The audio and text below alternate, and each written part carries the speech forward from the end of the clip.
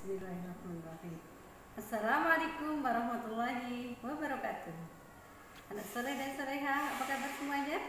Semoga anak soleh beserta keluarga dalam keadaan sehat.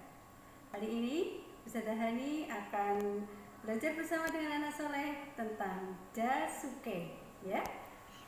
Jasuke ini bahan-bahannya jagung, susu, dan keju. Alat-alat yang dipakai, anak bisa pakai baskom. Kemudian ini pisau.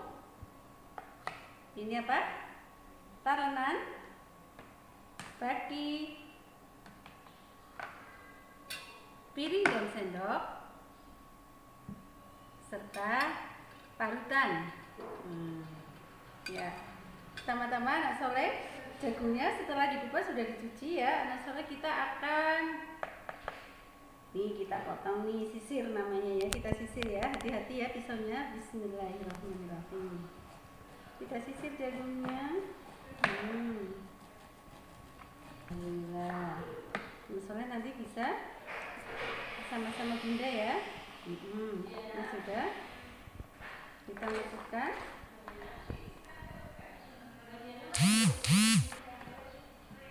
baskom lagi jadi satu. Hmm. kita juga akan siapkan kejunya ya. Kita parut dulu kejunya. Hmm, ini kejunya kita kupas dulu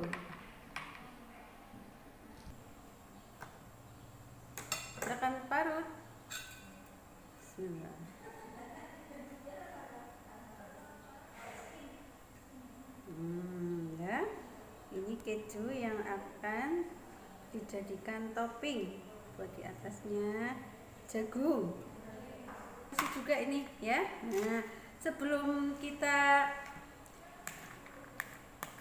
kita olah, anak sore akan siapkan pancinya dulu ya. Kita akan menyiapkan panci untuk mengukusnya. Mengukus jagungnya menggunakan panci yang sudah diisi air ya. Kita dapur dulu. Nah, ini pancinya sudah diisi air. Kita akan akan mengukus jagungnya. Kita tuang dulu bismillah.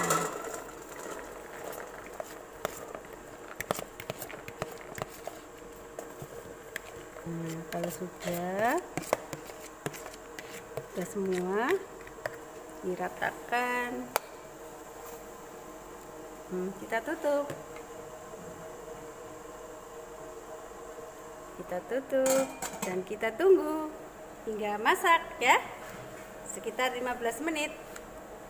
Alhamdulillah jagungnya sudah masak ya nak sore ya kita mau ambil jagungnya memakai mangkok boleh pakai piring kecil boleh ya. Sudah pakai cetakan agar. Nah pakai ini juga boleh. Nah sore kasih susunya Hmm. Baca susu. Terus secukupnya. Terus sama selai kasih keju. Yang sudah diparut tadi ya. Nah, seperti ini. Cantik kan? Nah, ini jasuke kita sudah jadi. Alhamdulillah. Selamat mencoba membuat jasuke bersama Bunda di rumah. Dan semoga anak sore bisa mencicipinya dengan senang. Terima kasih. Wassalamualaikum warahmatullahi wabarakatuh.